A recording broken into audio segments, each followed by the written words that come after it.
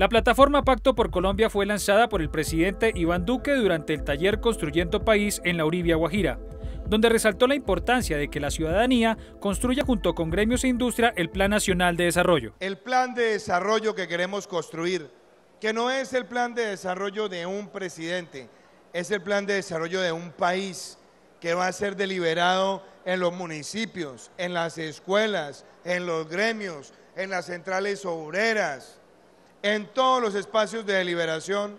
Quiero que sea una oportunidad para que todos los colombianos aporten con sus ideas y construyan país. El presidente de la República, Iván Duque, resaltó que los ciudadanos podrán utilizar los medios digitales para participar por primera vez en la historia del país en la construcción del Plan Nacional de Desarrollo para los próximos cuatro años. Yo quiero que este sea un plan de desarrollo que utilice las redes sociales y todos los medios digitales para tener el aporte de todos los ciudadanos, de los jóvenes, de los estudiantes, de los adultos mayores.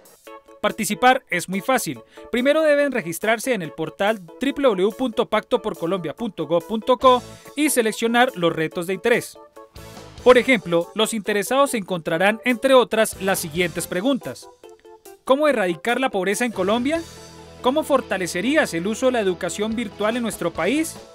¿Cómo traerías el deporte a tu comunidad? Entre otros. La ciudadanía lo puede hacer de manera más directa a través de esta plataforma virtual que se diseñó con el apoyo de la Presidencia de la República y del Ministerio de las TICs y que tiene que ver precisamente con apoyarnos en todos los avances de la tecnología para acercarnos a la ciudadanía. Las mejores propuestas serán enviadas al equipo responsable de la elaboración del Plan Nacional de Desarrollo para su análisis e inclusión en el documento final.